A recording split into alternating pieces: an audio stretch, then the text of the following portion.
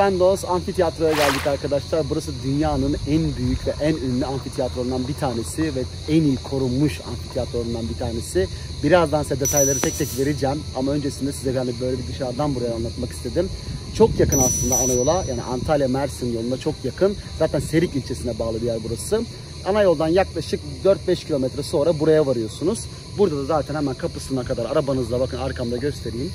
Arkamda gördüğünüz otoparka kadar aracınızı getirip ondan sonra içeriye girebilirsiniz. Hemen bilet kişisi de zaten tiyatronun hemen yan tarafında. Şimdi içeri doğru devam edelim.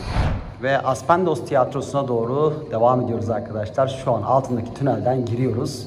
Bir an böyle kendimi o Roma dönemindeki e, gladyatörlerin çıkış kapısından girermiş gibi hissettim. Ee, burası 15-20 bin kişilik bir kapasiteye sahip amfitiyatroymuş arkadaşlar. Yani inanılmaz güzel bir şey. Zaten birçok önemli festival, etkinlik de burada yapılıyordu. Bakın şu anda ana sahnesinin oradayız. Çok yüksek olduğu için üst tarafları almıyor. Ben işte içeri doğru geldim. Görüyorsunuz şu anda oturma düzen, düzenekleri ya da koltukların hepsi zaten koruyor kendini. İmparator Marcus Aurelius döneminde yapılmış. Onun oğlu Mimar Zenon tarafından, Theodoros'un oğlu Zenon tarafından inşa edilmiş arkadaşlar. Bu yaklaşık da işte zaten 2000 yıldan bahsediyoruz. 2000 yıllık geçmişe sahip olan bir antik kentteyiz.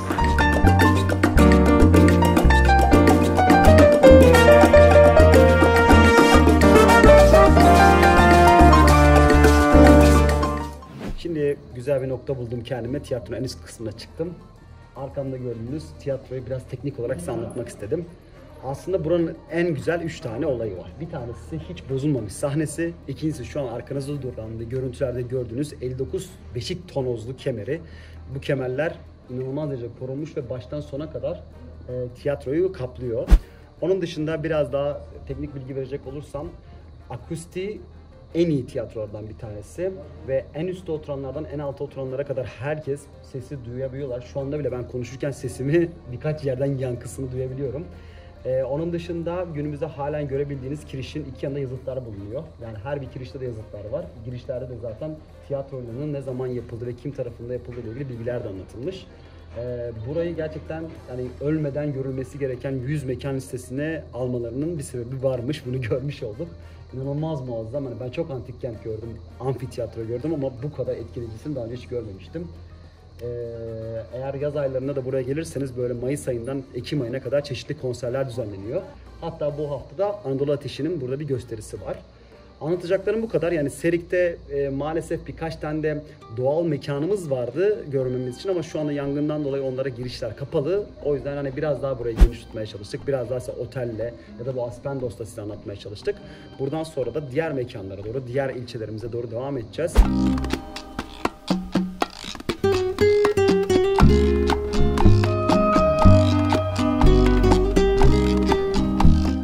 Evet şimdiki durağımıza geldik. Ne Belek. Belek'teyiz. Belek'te Invista Otel'de konaklayacağız arkadaşlar. Bu bölgedeki en güzel otellerden bir tanesi. Zaten bundan sonraki videolarda ne demek istediğimizi çok iyi anlayacaksınız. Evet gerçekten gelmeden önce de inceledik. Bu arada bu gezide şöyle de değişik bir şey yapacağız. Yani çok farklı yerlerde konaklayacağız. Zaten videoda göreceksiniz. Birbirinden bayağı farklı yerler. Şu anda burası bayağı böyle resort otel. Yani 5 yıldızlı her şey dahil. Ultra şey. Evet, ultra her her şey şey dahil. dahil Mesela dün kaldığımız biraz daha butik, sakin bir oteldi. Burası biraz daha hareketli. Bundan sonrakilerle ilgili şimdilik e, spoiler vermeyeyim, sürpriz olsun. Şimdi otelimize doğru gireceğiz. Bakalım nasıl bir otel bizi karşılıyor.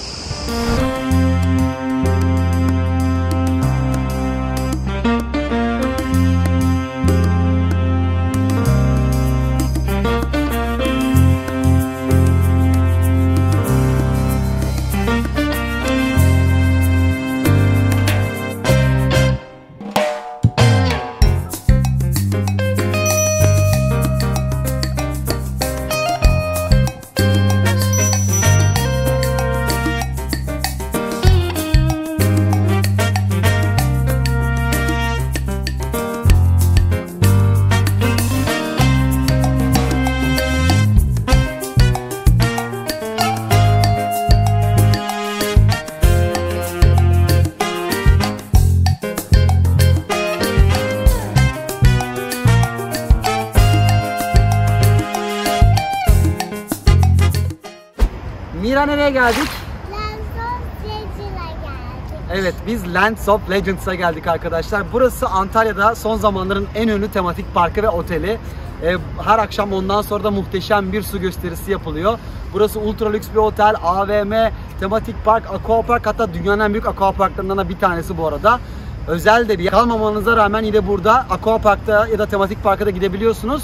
Biz de şimdi nereye gidiyoruz? Su gösterisine değil mi Miracığım? Evet. Hadi görüşürüz.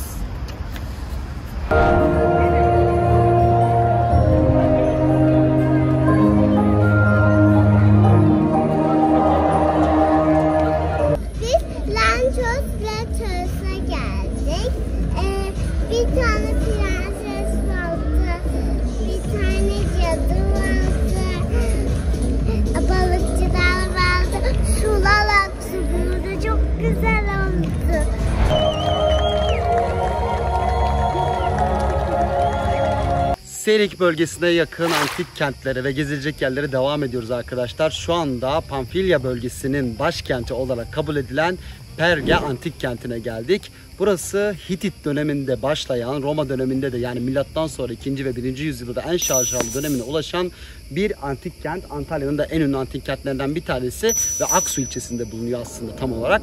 17 kilometrede merkeze bu uzaklığı var. Şu anda ben size birazdan detayları geçmeden önce şöyle kısa kısa anlatayım. Burası gerçekten çok düzenli bir antik kent. Yani düzenden kastım çok büyük bir alana yayıldığı için ve dönem dönem her gelen medeniyet bunun üzerine koyduğu için e, bu gördüğünüz alanda bakın arkamda gördüğünüz alan neredeyse yani bir kilometre bir kilometre genişliğinde bir alandan bahsediyorum. Ee, antik kent şu tarafta amfiteyatro en az Aspendos kadar büyük bir amfiteyatrosu var. Onu da size birazdan göstereceğim. Bir kutsal yol var, sütunlu yol var. Yine antik kentlerde bulunması gereken bütün me- merkezler var. Burası önemli bir liman kentiymiş aynı zamanda. Ee, o yüzden hani burayı bayağı bir gezmeniz gerekecek. Sıcakta çok gelmeyin. Biz mecburen rotadan dolayı biraz erken saatte geldik e, yine. E, onun dışında da birazdan göstereceğim antik tiyatroda neredeyse Aspendos Antik Tiyatrosu kadar büyük ama onun kadar e, artık kalıcı olmamış. Biraz bayağı bir yıkılmış halde. O da 15 bin kişilik bir e, kapasiteye sahipmiş. Şu anda da işte tam antik kentin ortasındayız. Buradaki en meşhur yer olan Sütunlu Yola doğru devam ediyoruz.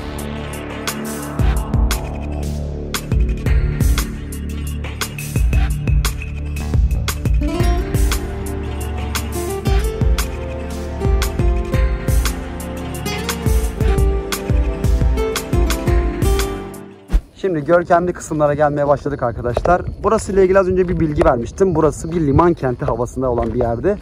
Neden böyle diyorlar? Çünkü burası aslında denize 14 kilometre mesafede. Ancak Kestrios yani nehir tanrıçası adını da verilen Kestrios çayı sayesinde buradan denize ulaşmak çok mümkünmüş. O da yaklaşık 3 kilometre uzaklıkta bulunuyor. Ondan sonra da işte taşımacılık ve diğer işlemler için buradan liman kenti havasına bürünmüş antik kentimiz. Şu andaki e, geldiğimiz kısımda buranın artık en e, eserlerle dolu dolu kısmı. Bakın şu an görüyorsunuz sağımda solumda bütün antik eserler var. Hani bu arada e, biliyorsunuz ki Roma medeniyeti çok tanrılı dine inanan bir medeniyet. Ve Artemis de bu antik kentte yaşayanlar için baş tanrıça. Onu da söyleyeyim. Şimdi de sütunlu yollara doğru devam ediyoruz. Antalya gerçekten çok büyük bir şehir bildiğiniz gibi arkadaşlar ve birçok medeniyete ev sahipliği ama asıl dönem Roma dönemi. Şu anda neredeyse bir 5-10 kilometrede bir, bir antik kent görmeniz mümkün. Tabii Mersin de böyleydi ama Mersin bu konuda e, çok da ön plana çıkarılmayan bir şehir. Eserler daha böyle bir bakımsız ama burada gördüğünüz gibi antik kent gayet ayakta, dimdik ayakta. Şu anda kutsal alandan artık sütunlu yola geldik. Burada da bir, şu anda görüntüleri görüyorsunuz ne kadar devasa bir alan olduğunu. Ve bir sonraki durağımız arkadaşlar Kurşunlu Şelalesi. Yine Antalya'nın ve Türkiye'nin en ünlü şelalelerinden bir tanesi. Burası Aksu ilçesinde bulunuyor. Ana yaklaşık 4-5 kilometre içeride böyle bir doğal tabiat parkı sizi bekliyor. Şelale de zaten çok uzakta değil. Parka girdikten birkaç dakika sonra şelaleye uzana, ulaşabiliyorsunuz. Okuduğumuz kadarıyla şelaleye girmek yasakmış. Ama biz yine bir bakacağız. Nasıl olduğunu göreceğiz. Şimdi içeri girelim.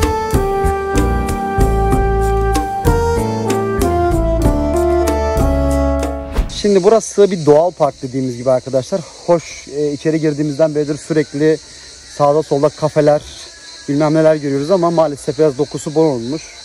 Yani ben böyle şelale yollarını çok sevmem bilirsiniz. Böyle iyice zorlu olmalı.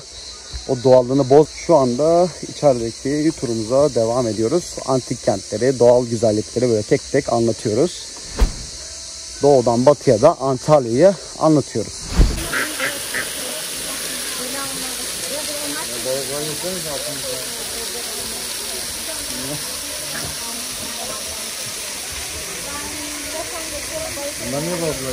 Ve 3736. şelaleme geldim herhalde arkadaşlar. Son 2 senedir Türkiye'de görmediğim şelale kalmadı.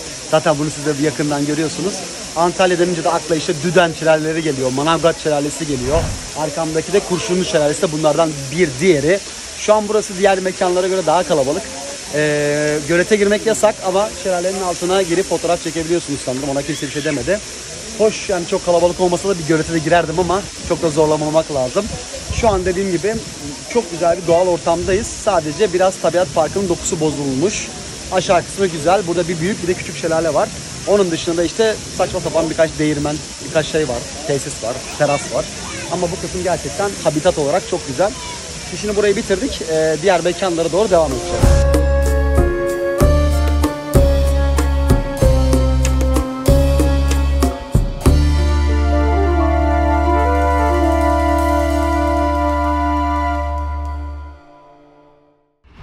Yarından itibaren Batı Antalya'ya geçeceğiz arkadaşlar. Size orada Kemer'den itibaren işte Olimpos, e, Kaş, Kalkan, Fenike hepsini anlatacağız. Bu videoyu burada kapatıyorum. Benimle kalmaya devam edin. Kanalımıza da abone olmayı unutmayın. Görüşmek üzere.